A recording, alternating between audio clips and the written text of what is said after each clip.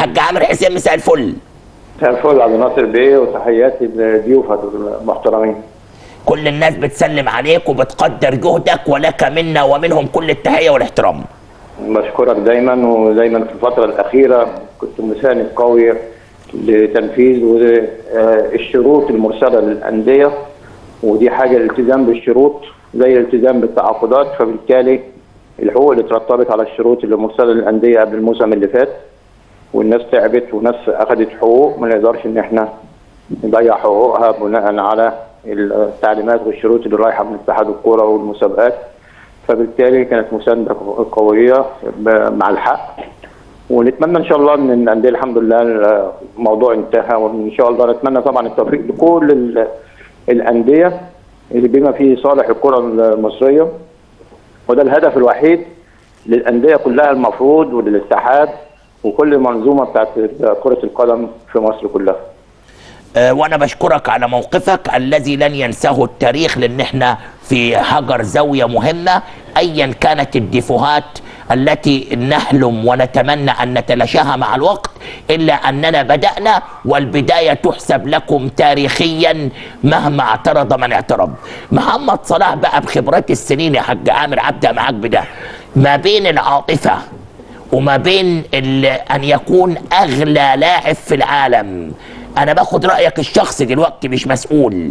يعني أنا رأيي الشخصي أتمنى أن يستمر في ليفربول لأن مش هيبقى عندنا هذا المكان والمكانة في يوم من الأيام للاعب تاني إلا بعد مئات السنين. ربنا يا رب يجعله السنة الجاية بس صعب.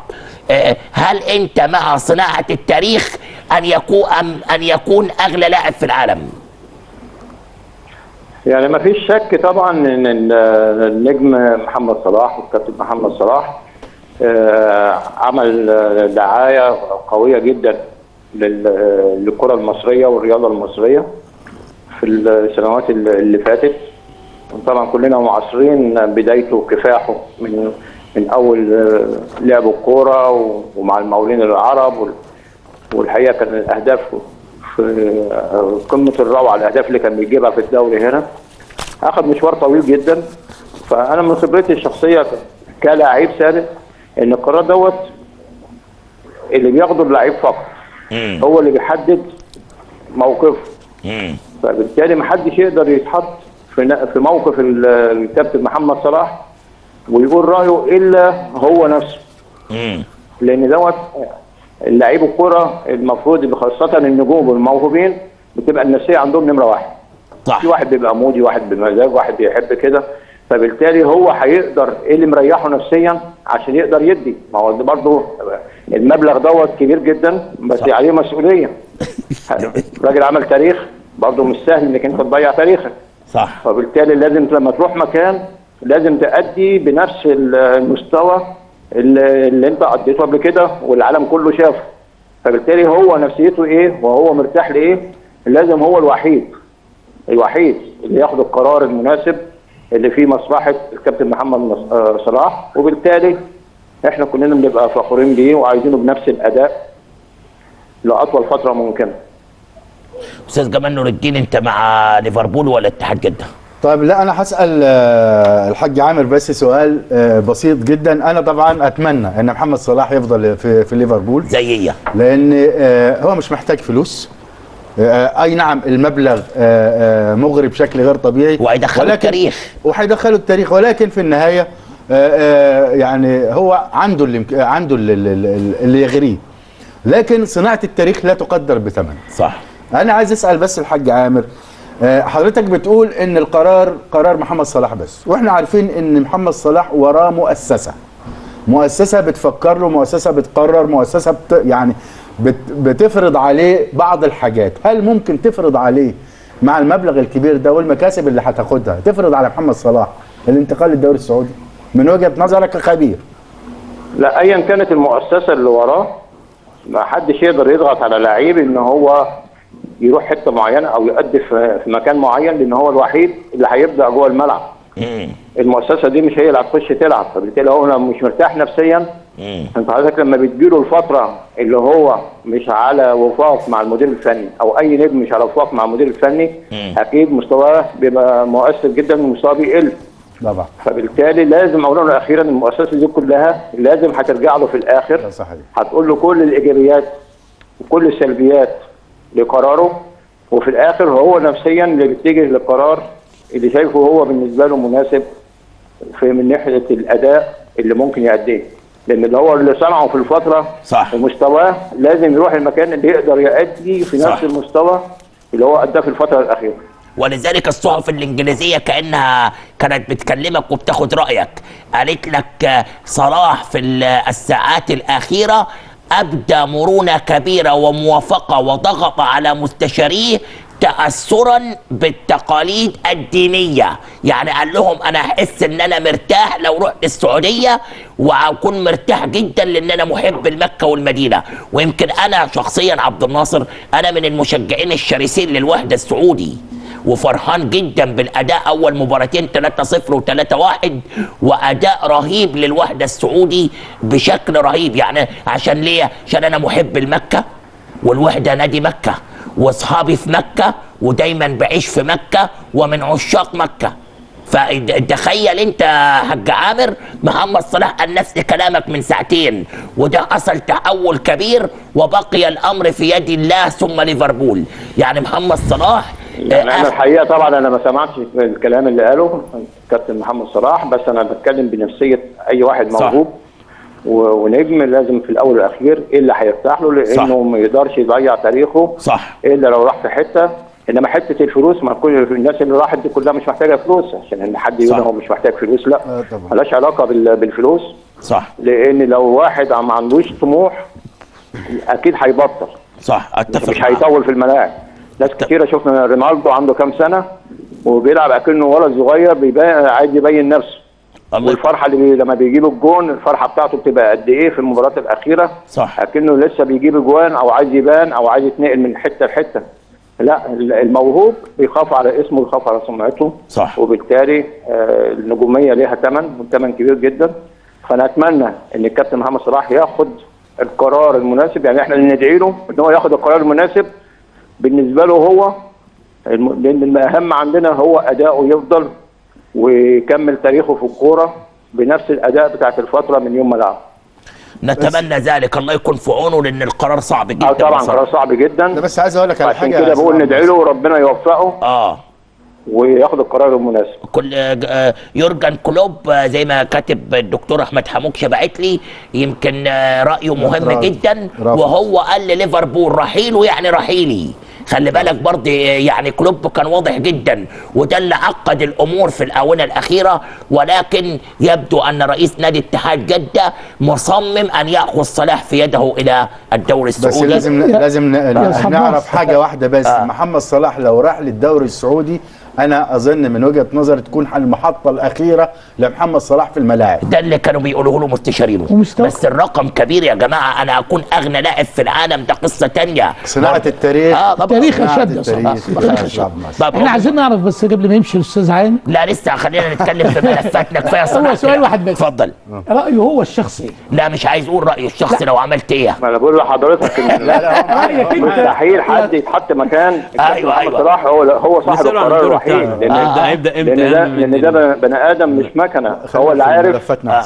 هو من ناحية النفسية بتاعته هيقدر يأدي فين؟ صح. تمام. آه حاج عامر خليني النهارده يمكن قبل ما أخد رأيك في حاجات مه... حاجة مهمة أو حاجتين عايز أبدأ من عند الأستاذ محسن جميل عشان نبقى هادفين. أستاذ محسن جميل النهارده أبدأ مرونة وهو رئيس مجلس إدارة نادي مركز شباب طمية كبيرة جدا في اللعب على ملعبه وقال أتمنى مساعدة الاتحاد وحضرتك شخصيا ولديه المقدرة إنه يساعد الأمن بالتعاقد مع شركة أمن خاصة وإنه يلعب على ملعبه بدون جمهور لأنه ده بيفرق معاه جدا جدا جدا.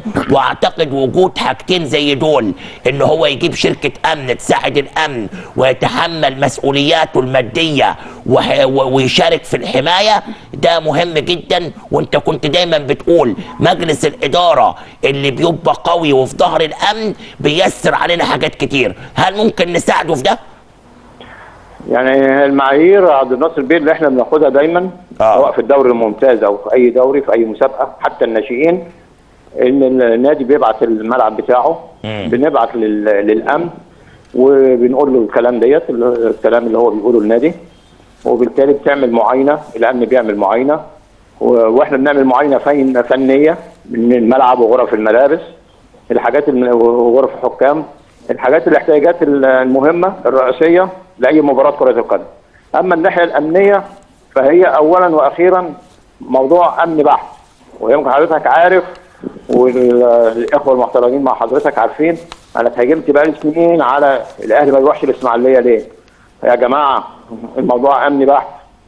طب المصري يا جماعة برضو الموضوع امني بحت. مشيت من من المسابقات لمدة سنة وبرضه نفس ال- الكلام ما حصلش تغيير على اللي أنا كنت بقوله والأهلي برضه فضل ما بيلعبش في الإسماعيلية والمصري بيلعب في برج العرب. فالموضوع بقول لحضرتك إن الموضوع أمن بحت إنما لو في آه، مساندة بعد المعاينة الفنية وبنبعت للأمن آه، هنقدر نتفاهم مع الأمن بقدر الإمكان ونديهم ال- الإطمئنان على الكلام إن في شركة أمن خاصة. إنما في الآخر ما بحبش حد يتدخل في قرارات الأمن لأن هم اللي بيتحملوا المسؤولية كمان طيب آه الأستاذ محمد صلاح رئيس نادي ديروت معانا. الراجل بيقول يعني على الرغم من آه برنامج آه آه ملعب الشمس تقدمنا بمقترحات آه آه يعني إلى حد ما بنساعد في حل أزمة عزل أندية الشركات الغير لائحي وغير قانوني وفي استجابة من كل رؤساء الأندية حتى ضيوفنا في الاستوديو قال لك إحنا ضد التمييز وإحنا مع ان الشركات تبقى في اماكنها أو تتوزع حسب رؤية اتحاد الكورة. ولكن صديقنا محمد صلاح معاك اهو على الهوا آه بيقول لك لا أنا ضد ان حد يجي لنا في مجموعتين الصعيد آه من آه من آه من اي حتة تانية. فانا كان ردي طب المجموعات هتكمل إزاي؟ لما عندنا الترسانة الست مجموعات معترض عليها. هل هذا كلام منطقي يا حاج عامر؟ لا هو اولا وأخيرا المجموعات لما بتتوزع بتتوزع آه، بمعايير معينة وبما فيه آه، الصالح العام وبدون تمييز بين أحد وأحد من الأندية لأن أصلا الاتحاد الدولي رافض أي تمييز.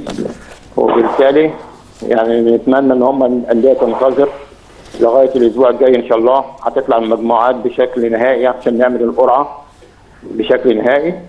وبالنسبة للجدول ال 20 إن شاء الله على يوم ال- الاثنين هيكون الجدول طالع بالتواريخ والمواعيد والبداية والنهاية وكل الأمور اللي حضرتك اتكلمت فيها امبارح والناس كانت بتسأل عليها امبارح.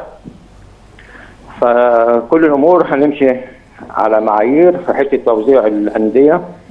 مش هنيجي طبعا نضر حد ولا هن هنشتغل لخاطر حد معين. كل الأندية زي بعض إن شاء الله. فإن شاء الله هنعمل ما فيه الخير يعني إن شاء الله. يعني العصفورة قالت لي إن بنسبة 90% دوري المحترفين أو دوري العشرين أو المجموعة الأولى في القسم الثاني غالبا ممكن يكون على 17 9 هل آه، آه الكلام ده مظبوط لأن ال- الدوري المجموعة الأولى آه، هيبدأ بدري عن المجاميع الستة. عشان آه، مبارياتهم أكتر من المجموعة الستة. فبالتالي لازم ندي فرصة عشان لما يبقى في تصفية في الآخر ما يبقاش فيه مساحة زمنية كبيرة بين النهاية المجموعة الأولى ونهاية المجموعات الثانية. أستاذ عبد الناصر بعد إذنك عايزين نسأل خلاص بس إحنا عايزين بس الإعداد يكتب لنا عشان كل الناس بتتابع الحاج عامر معانا. 17 9 انطلاق دوري العشرين بإذن الله تعالى أو المحترفين به أو القسم الثاني المجموعة الأولى. 17 9 إن شاء الله بإذن الله. دور دور المجموعات الستة ممكن هيبدأ إمتى بقى؟ لا ما هو الحاج عامر تصور يعني تصور مبدئي تقريب يعني يعني بالتقريب. مش هيتأخر من 10 ل 14 يوم بعدهم إن شاء الله يعني أسبوعين كمان بعد. يعني ممكن على أول عشرة. نقول على 1 10 إن شاء طب الله. ما كده المسافات بعيدة يا حاج يا حاج عامر. مسافات بعيدة قوي يعني الدور بتاعنا. كده هيخلص بدري قوي قبل الدور بتاعهم. ما دام حضرتك بتقول هيبقى في تلاحم ما بين دور المحترفين ودور القسم الثاني يبقى المفروض إن ده يتأخر على الأقل يبدأ في نص أكتوبر. لا لا لا إن شاء الله لأن في مساحات تانية هتتعمل في كأس مصر عندنا. آه. في برضه بنفكر جديا إن شاء الله لسه هعرض على المجلس إن إحنا نعمل آه، كأس ال- الرابطة أو ما يسمى زي الرابطة لأندية القسم الثاني مع بعض. المجموعات كلها المجموعة الأولى والمجموعة الثانية يتعمل لها كأس برضه خاص بيها. حلو ده؟ آه، بخلاف كاس مصر. جديدة دي. دي جديدة خل... دي, دي, دي جديدة. خلي بالك لحظة بس ده انت دلوقتي آه. قصفت جبهة اللي قال لك إيه؟ عبد انت انت ده انت انصفتني أنا. انت انت أنا في لعيبه شتمتني على صفحتي. ربنا مش هيسيبك. ده إحنا هنبطل من شهر ثلاثة يعني ده قصف جبهة على الهوا. يعني حضرتك بتعلن عن مقترح جديد في فترات الفراغ يضمن إن اللعيبة والفرق ما تنامش بدري في البيوت. لا لا مستحيل. إحنا لعيب كورة يريح بدري ما ينفعش في ال- ولا علميا ولا فنيا إن نقعد لعيبة في البيت من بدري من شهر اثنين ولا شهر ثلاثة ده مستحيل يحصل يعني إن شاء الله. والاشتراك إجباري يا حاج عامر برضه؟ الاشتراك هيبقى في المسابقة إجباري؟ ما هو زي كأس مصر. طب ما إحنا كده يبقى يبقى نظام التقليل ما- عدد تقليل عدد كاس مصر كاس مصر مش إجباري. اختياري لا تقليل عدد ما هو مش آه. اختياري يا أستاذ مصر. اختياري. هو واضح بيقول لك زي كاس مصر. تمام. يعني هيبقى له هو مثلا كاس مصر مش إجباري. اللي عايز آه، يشترك آه، بيشترك في كاس آه. مصر مش آه. كله بيشترك. ما دلوقتي انت الأستاذ محسن جميل متبني فكرة من أول الحلقة إنه سعيد جدا بالمجموعتين وقصر الموسم. بالظبط. في أندية بتقول لك ده تخريب في الكورة. أنت النهارده أنا بشكرك لأن دايما رهاني عليك بكسب الرهان.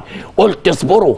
أهو مفاجأة من العيار الثقيل استحداث بعض الحاجات عشان ده موسم استثناء قلنا لكم الناس بتفكر صح وبره الصندوق. أنتوا عايزين تهاجموا خلاص أهو دي مفاجأة الراجل أهو فاجئنا بيها كلنا. انت عايز تشترك اشترك مش عايز تشترك ما تشتركش. تمام. ف... هي المشكلة عبد الناصر بيه إن أنا في في شغل يعني في المسابقات. بتشتغل مع أندية لها ظروف مختلفة في آه ناس بتبقى فرحانة ما عندهاش الإمكانيات عايزة تخلص الدوري إن شاء الله في شهر شهرين ويبقى عمل اللي عليه وخلاص عشان يوفر ال- الفلوس ويوفر الحاجات دي كلها مم. في ناس بتفكر في الحتة ال- الفنية عايزة مباريات كتير للعيبة وليها خط- تخطيط المستقبلي مم. آه، في ناس ثالثه عايزة المدربين مش عايزين آه، يبطلوا بدري. علشان في بعض الأندية بتوقف المرتبات أول ما الموسم ينتهي ما بيديش الموسم كله أو السنة كلها. العقود بتاعتهم زي اللعيبة فأنا كل الأمور ديت أنا عديت عليها وكنت مدير كورة وكنت لعيب قبل مدير كورة وتعاملت مع مع أندية متوسطة وأندية كبيرة وأندية صغيرة من حيث الإمكانيات فبالتالي بحاول بقدر الإمكان إن أنا أوسطن بين الأمور دي كلها والظروف المختلفة للأندية المختلفة. ربنا يكرمك جدا. الأستاذ محمد صلاح لي سؤال بيقول لك الست مجموعات ال- في القسم الثاني المجموعة الثانية نهائي آه، لا رجعة فيهم ولا في كلام؟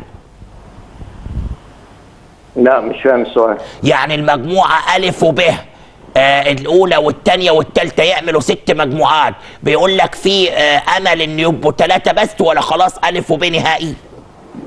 لا لا ده نهائي. ألف وب نهائي. ألف وب نهائي.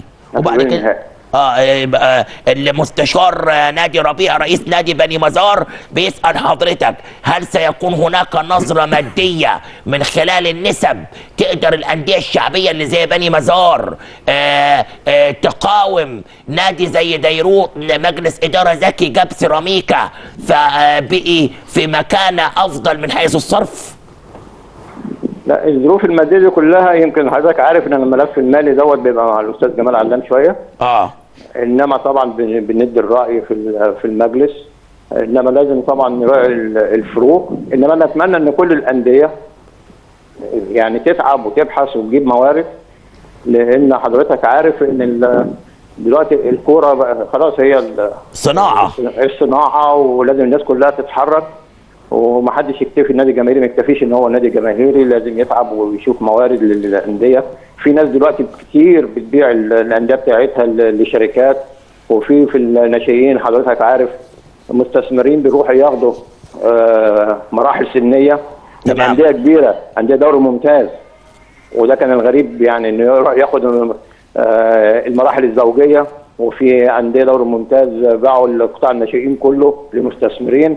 يعني كل نادي بيفكر التفكير بتاعه لأن كل واحد لو فكرنا كلنا تفكير واحد ما كل حتى مش معقول هيبقى كل مجالس الإدارات بتاع 800 نادي في مصر ولا حاجة كلهم نفس التفكير فكل واحد ليه ظروفه صح. وكل واحد بيعالج الأمور بتاعته بناء على ظروفه هو فبالتالي طبعا ما نقدرش ان يعني تحط يعني خريطة واحدة للأندية. كلها لأن الأمور كلها مختلفة طيب آه الأستاذ شريف صبري المخرجنا المتالق في النيل الرياضة بيقول لحضرتك هل هناك إمكانية أن يلعب دوري المحترفين على ثلاث أيام آه آه ويبقى الساعة 2 و4 و6 آه ثلاث مباريات مثلا بالتناوب حتى نستطيع أن نستمتع كمقترح بدل من اللعب في توقيت واحد ولو حتى في البدايات قبل المنافسات الأخيرة ولا ده صعب ولا ممكن يدرس؟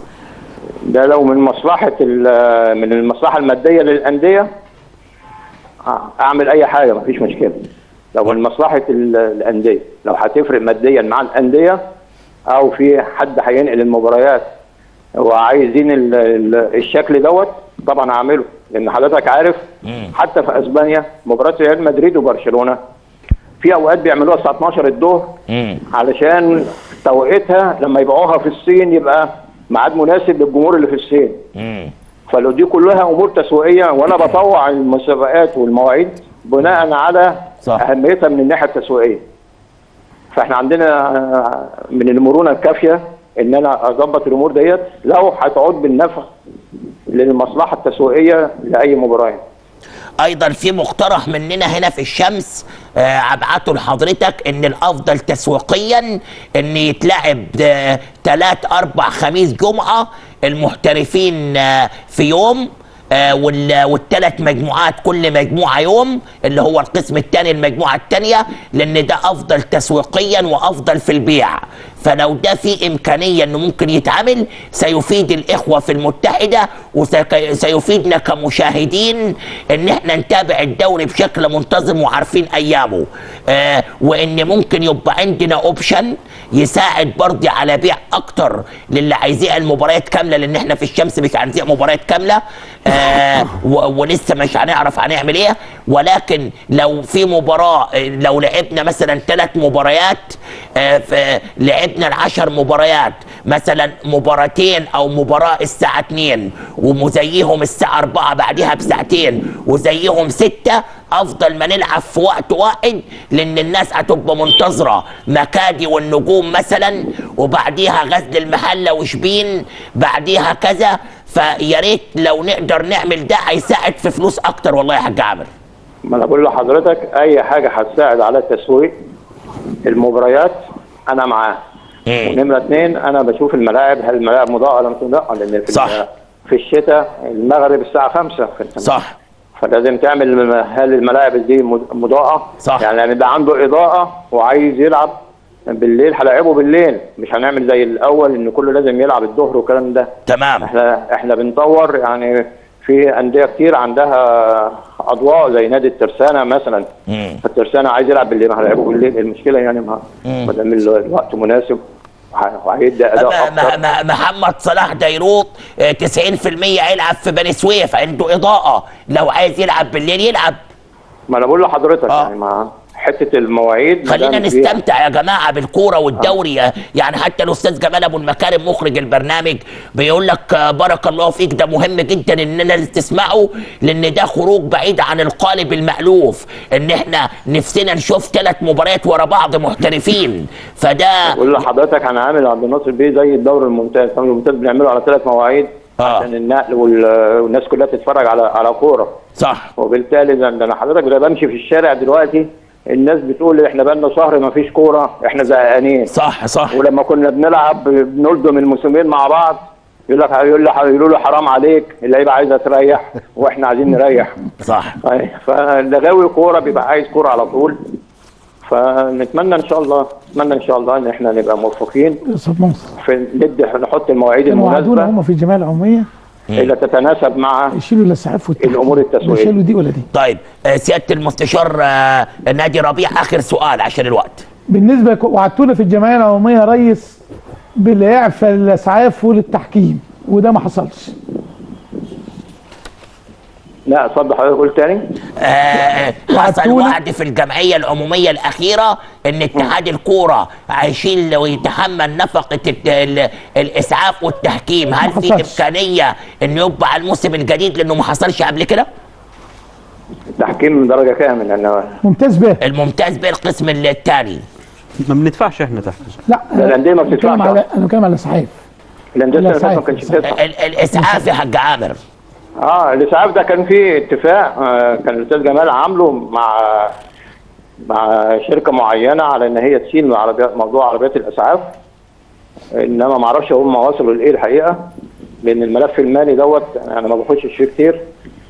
فبالتالي إن شاء الله لو في طبعا آه إمكانية للكلام دوت الموضوع هيبقى سهل يعني. هو عربيات عامة الإسعاف. ده في حوارنا مع الأستاذ جمال علام لأن أنا عارف إنه كان بيكلم هيئة الأسعاف وكان بيكلم شركة قطاع خاص عشان يجيب عرض وكان عامل ميزانية هو أنا قال لي في حدود من 5 ل 6 مليون جنيه الموسم كله فقال أعرض بس أخلص الاتفاق وأعرض على مجلس الإدارة ولو قدرنا نوفر المبلغ من مواردنا في اتحاد الكورة هنوفره وده هيبقى إهداء لينا للأندية مش عشان خاطر توفير فلوس عشان نضمن عربية اسعاف مجهزة تروح كل المباريات طبعا ده موضوع مهم موضوع عربية الأسعاف دوت. يمكن اللائحة بتطلع والشروط ان هي بتنص لازم على. ضرورة عربية الأسعاف حرصا على أرواح اللعيبة والموجودين في في المباراة وأكيد طبعا لو الموضوع كده أكيد مجلس الإدارة كله مش هيتأخر والاستاذ جمال مهتم بالموضوع دوت وبيحسبها طبعا حضرتك عارف أكتر مننا عبد الناصر بيه هو الملف ده كلمني فيه بتركيز وفيه مفاجأة هيعلنها آه هو يعني الحتة المادية ديت هو بيبقى حريص قوي فيها صح. وده إيه آه قوي فبالتالي الملف ده مع آه جمال بيه علام فهو طبعا إن شاء الله كل الأمور هيلمها و- والأسبوع الجاي هتعرض على مجلس الإدارة عشان يطلع بيها قرار نهائي. أستاذ عبد الناصر تسكين المجموعات ده اخر سؤال معلش. تسكين المجموعات تم بشكل نهائي ولا لا ما هو قال في يوم قال الاثنين. يوم لا لا لا ما فيش ما فيش مجموعات بشكل نهائي. ده ده مقترح. مننا يا جماعة أرجع وأقول والله مقترح مننا. قدمناه للراجل قلنا له لو ممكن نساعدك. فالراجل اللي بينظر إلى مقترحنا وعلى فكرة في أندية تاني قدمت مقترحات وفي آه، برامج تانية قدمت مش أنا بس. كله ده تعاون مع الاتحاد وأنا بشكر كل من يقدم فكرة ويتعاون. الاثنين القادم وأنا أتمنى برضو عبد الناصر بيه برضو إن أي حد عنده اقتراح أهو. بدل ما نقعد بنناقشه كده في كلمتين على الهوا والناس بتشوشر على بعض يعني يبعتوا مكتوب للاتحاد عشان ناخد فيه قرار ويدرس كويس. وناخد فيه القرار السليم ويا ريت يا حاج عامر بس تراعي التوزيع الجغرافي. ده مهم جدا بالنسبة للأندية. إن شاء الله خير إن شاء الله. بس عبد الناصر آخر حاجة معلش. اتفضل. ال- الإجراء علشان ألعب في بني مزار أنا بلعب في مطاوي. الإجراء لحضرتك لاتحاد الكورة ولا المدير الأمن المنيا؟ يعني أنا هقدم طلب حضرتك بتبعت له وإحنا بنبعت للوزارة الوزارة بتبعت لمديريه الأمن المختصة وبيبعت لنا الردود. يعني أنا خاطب اتحاد الكوره أنت حضرتك عندك إن العلاقات إنك أنت بتروح لمديرية الأمن وتجيب موافقة الأمن على طول؟ ده بيبقى بتسهل الأمور. آه. إنما ما فيش حضرتك بتبعت لي لو ما قبلوش منك الجواب تبعت بنبعت للوزارة. الوزارة بتبعت للمديرية بتاخد ردها بيعملوا لجنة. اللجنة بترد على الوزارة الوزارة بترد على الاتحاد. تمام. شكرا. تمام. شكرا. طيب. شكرا رئيس. حاج عامر آه، النهارده كنت حضرتك موجود ومعالي وزير الشباب والرياضه الدكتور أشرف صبحي ومعالي اللواء محمد شريف محافظ الإسكندرية وجمال بيه علام رئيس الاتحاد المصري لكرة القدم آه، في افتتاح تصفيات بطولة شمال أفريقيا بالإسكندرية. وكالعاده الإسكندرية دايما بتقدم لنا نموذج رائع في التنظيم. وزي ما قريت في كل وكالات الأنباء ان آه، كان افتتاحا رائعا ومتميزا. ومعانا الصور على الهواء. يعني الحمد لله مصر دايما بتستقبل ال- البطولات بشكل مفاجئ والحمد لله بننجح فيها. وده يمكن حصل في البطولة الأفريقية 2019 مم. والبطولة دي كانت المفروض إن هي في الجزائر واتنقلت على طول وتم اختيار الإسكندرية. فإحنا الحمد لله عندنا الكوادر في إسكندرية وعندي مجموعة من الشباب كانوا شغالين معانا في 2019 وشغالين في شهر 3 اللي فات في بطولة أفريقيا التصفيات 2003 للشباب. فبالتالي عندنا مجموعة جاهزة. أنا محضرها طبعا فكان تم تكوينها في منطقة اسكندرية. مجموعة من الشباب على أعلى مستوى ويحبوا مصر على أعلى مستوى. فبالتالي ال- الاتحاد شمال أفريقيا الحقيقة كانت الكلام اللي قالوه على مصر آه، حاجة مشرفة جدا في المؤتمر كان. بتاع امبارح في المؤتمر الفني الكبير مع كل ال- الأربع آه، فرق الموجودين واللجنة الكاملة بتاعت اتحاد شمال أفريقيا.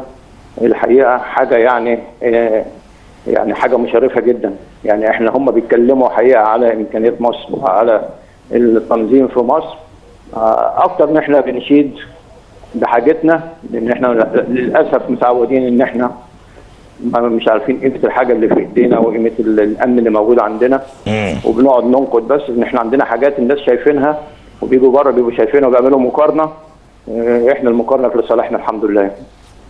يعني زميلنا الأستاذ أحمد عبد العزيز مدير مكتبنا في اسكندرية بيقول لي آه، يعني الفرق المشاركة كلها زي ما انت قلت يمكن النهارده كان حاضر برضه عبد الحك... عبد الحكيم الشلماني رئيس رئيس اتحاد. شمال أفريقيا واللواء حلمي مشهور والدكتورة دينا الرفاعي والأخ المحترم الأستاذ وليد العطار ومحمود الهمامي المدير التنفيذي لاتحاد شمال أفريقيا وكان الافتتاح أكثر من رائع وكمان بالمناسبة انت عامل احتفالية تاريخية والمنطقة كمان في اسكندرية يوم الاثنين بمناسبة مرور 100 سنة على إنشاء منطقة الإسكندرية لكرة القدم اللي هي أعرق من دول كتير جدا في المنطقة عربيا وافريقيا يا حاج عامر. أكيد طبعا الموضوع دوت ما حدش حس بيه خالص ويمكن أنا شغال فيه من شهر بس في حدود طبعا إمكانيات المنطقة اللي موجودة إنما عاملين آه، حاجات كويسة إن شاء الله تبقى مفاجأة للناس. وبندي كل واحد حقه في تاريخ إسكندرية من الكره الكرة المصرية واللي ساهموا في الكرة المصرية من إسكندرية من قدامى اللاعبين وإداريين ومدربين ودكاترة. كل المنظومة اللي ادت ل- لمصر عن طريق وخارجة من محافظة اسكندرية آه، كل واحد لازم نديله حقه بعد 100 سنة الحقيقة. وأنا بشكر طبعا آه، معالي الوزير الشباب والرياضة إن هو النهارده أكد إن هو هيبقى موجود في المئويه إن شاء الله يوم 28 وكذلك محافظة اسكندرية هيستقبل المئويه في استاد اسكندرية لأن طبعا مش هنلاقي أحلى وتاريخ استاد اسكندرية أول استاد على في مئويه أفريقيا. منطقه اسكندرية فنتمنى إن شاء الله إن يطلع يوم موفق ويبقى مثال إن شاء الله كده. وإعلان على تاريخ كرة القدم المصرية وتاريخها الطويل اللي زي ما حضرتك قلت يفوق دول كتير يعني. ويشرفنا جدا جدا إن إحنا كمان نصور الحفل هنا في الشمس. وبشكرك على إنك أنت منحتنا هذه الثقة. وإن شاء الله بإذن الله نعرض آه، ملخصات للحفل بالشكل الذي يليق بإسكندرية وأهل إسكندرية وتاريخ إسكندرية. وكالعادة آه، يعني إذا كانت وأنا الحقيقة من خلال حضرتك برضو بدعي كل الم- المناطق مصر والأندية اللي تحب تحضر طبعا يشرفنا حضورها والمشاركة في المئويه منطقة اسكندرية أو فرع اسكندرية لكرة القدم. إن شاء الله. وكالعادة يا حاج عامر كان الكلمتين دول بيزعلوا ناس. ستظل أنت في نظري منقذ للو... للأزمات والورطات اللي تعرضنا في ليها خلال السنوات اللي فاتت. وبقول لك مبروك الانتصار آه، مش في حرب لا. وإنما مستقبل الكرة المصرية انتصر مع كامل الاعتذار لكل من اختلف. آه، بالفعل انتصر مستقبل وتيار الإصلاح. وعايز أقول لكم اللي جاي أفضل ومن سنة لسنة بإذن الله هنفضل لما كنا نتمناه من القاع وحتى القمة. ربنا يبارك فيك يا حاج عامر وبشكرك على هذا الحوار الخاص. شكرا جزيلا. بشكر حضرتك وبشكر كل الإخوة المحترمين اللي مع حضرتك. شكرا جزيلا حاج عامر حسين.